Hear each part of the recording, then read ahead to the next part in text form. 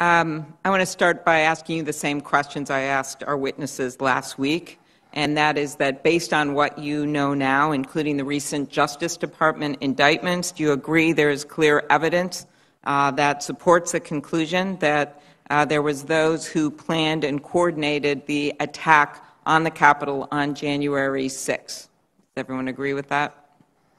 Yes, no? We are seeing indications from our charging documents of people that coalesced together before and made some plans. Okay, so everyone is a yes on this? Do someone want to say if they're a no? I don't want to call on everyone. Are you all a yes? Yes, yes, ma'am. Okay. Okay. Um, Then, would you agree that it involved white supremacists and extremist groups, the planning? Is everyone a yes on that? I just say that we're seeing a wide range of involvement um, and still a lot left to be identified, right? A lot of these. No, does it involve white supremacists, and that's what I'm asking? Some. Extremist group? Some. And was the, um, was the event not planned by Antifa? At this point, we have not identified a specific individual that we've charged associating or self-identifying with Antifa. Okay, thank you.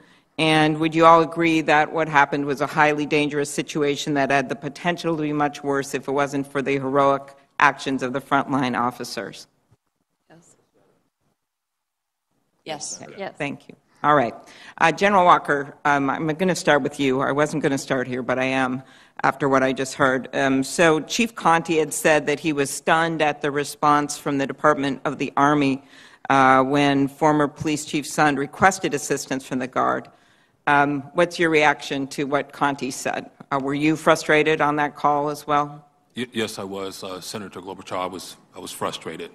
I, I was just as stunned as uh, everybody else on the call. And I understand, and correct me if I'm wrong, that with the National Guard, it is much better to um, prepare them and call them into action and have a plan, which I know that uh, I, I heard from um, uh, Mr. Salesses that they people tried to do. They called the chief, they called people and said, you want to have the Guard mobilized?" And there was a discussion between you and Sund uh, leading up to January 6th in which this was discussed, and you didn't get a clear direction to have them mobilized. Is that correct?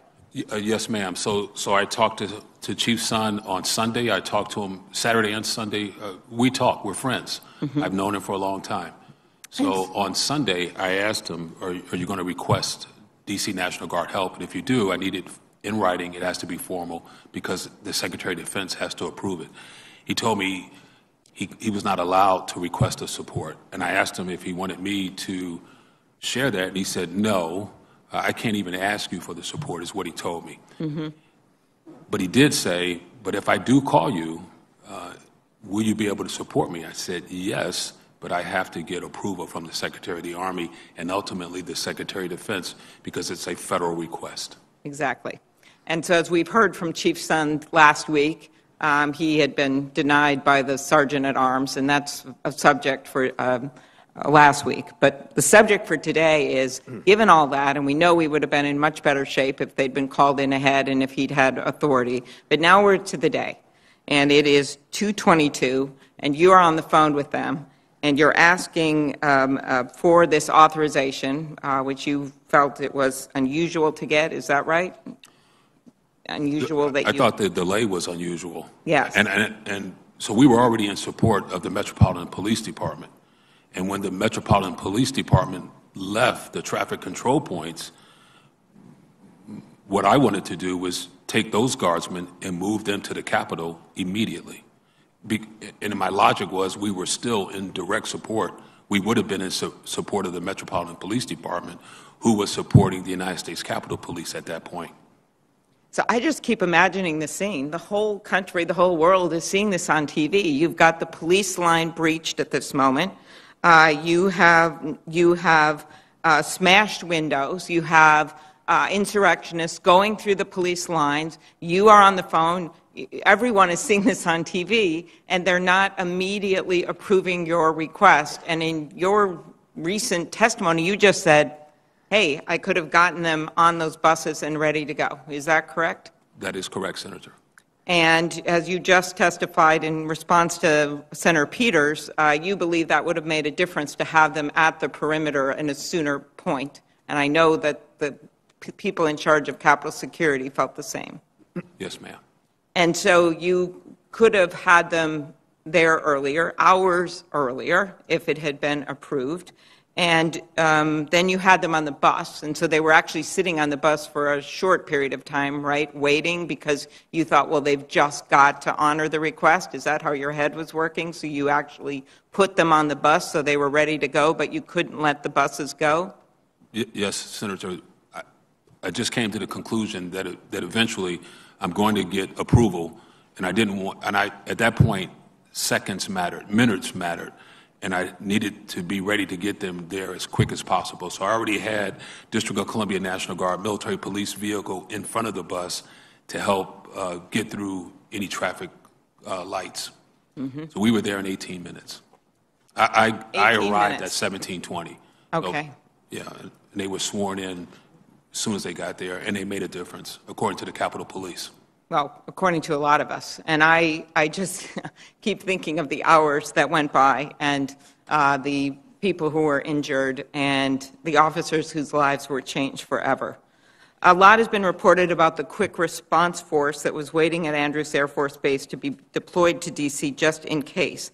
Now, that force was set up uh, as additional troops to support the Guard's traffic control uh, mission is needed. Is that right?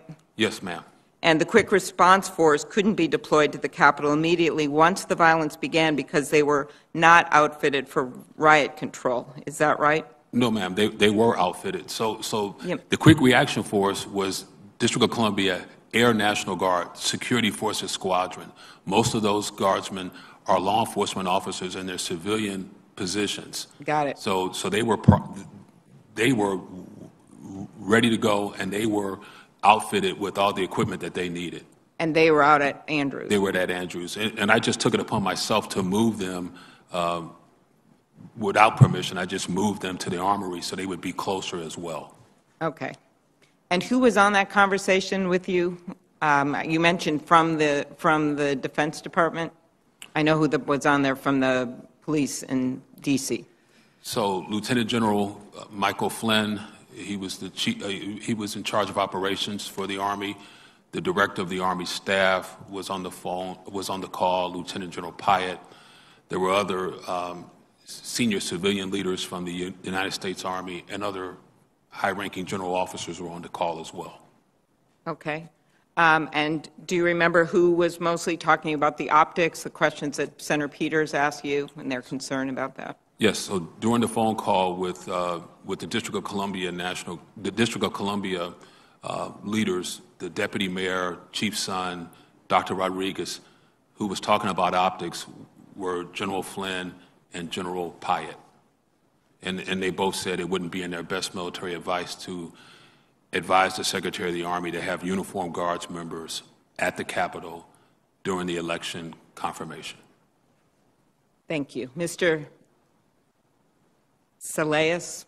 um, Could you uh, explain uh, why uh, they would say such a thing? I know you were not on the call, and uh, you were the one that they sent here on behalf of the Defense Department, but you were not on the call. And so do you have any idea why this delay occurred uh, when, as uh, Senator Peters has uh, well pointed out, it didn't occur in other incidences?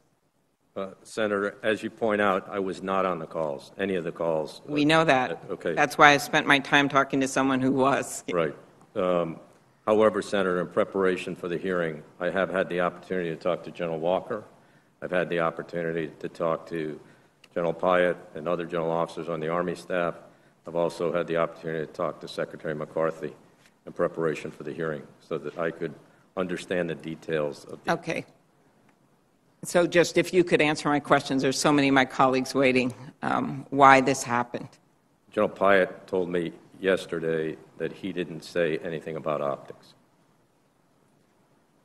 He, maybe he meant he didn't use the word optics, or are you saying that General Walker, who just testified that they were concerned about this, is wrong, or that, General Pyatt told me yesterday, Senator, that he did not use the word optics. I think that what, I'll let General Walker answer this, but I think what he's talking about is the general concern of that, um, was that they were more concerned about how this would appear, and it was in their best advice. And I guess what bears out his testimony is that they did not send the National Guard there for hours. They didn't give the authorization for him as he waited with his troops to go over to the Capitol. Senator, in- in, in fairness to the committee, General Pyatt is not a decision maker. The only decision makers on the 6th of January were the Secretary of Defense and the Secretary of the Army, Ryan McCarthy. There was a chain of command from the Secretary of Defense, to Secretary McCarthy, to General Walker. That was the chain of command. There's lots of staff that was involved in obviously having discussions, but to be clear, on that day, that was the chain of command. Just, could I give General Walker, I think we should give him a, a moment to respond here, and then I'll be done. Yes, Senator. So, so the chain of command is the President, the Secretary of Defense, Secretary of the Army, William Walker, Commanding General, District of Columbia National Guard. Can I, can I just make a correction? I said Lieutenant General um, Mike Flynn. It was Lieutenant General Charles Flynn. Got it. A- And so I, sorry, I just right. wanted to correct that. Okay. But, uh, but there were people in the room with me on that call that heard what they heard. Okay. We'll have to follow up with more questions. I appreciate your testimony. Thank you.